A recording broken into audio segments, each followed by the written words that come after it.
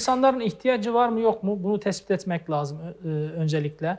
Yani siz mezarlıkta e, çeşme olması güzel bir şeydir. Özellikle sıcakta bir bölge ise Evet. e, ihtiyaç da varsa insanların orada işte abdest almasını sağlayacağı veyahut da su içmesine yönelik böyle bir hizmet elbette ki sevap kazandıracaktır. E, ikram olacaktır insanlara. E, Ama burada ihtiyaç var mı yok mu? Önceliği var mı yok mu? Bunu tespit etmek lazım. Kimsenin ihtiyaç duymayacağı bir yol kenarına çeşme yaptırmak israf da kabul edilebilir. Yani bunu çok e, iyi değerlendirmek lazım.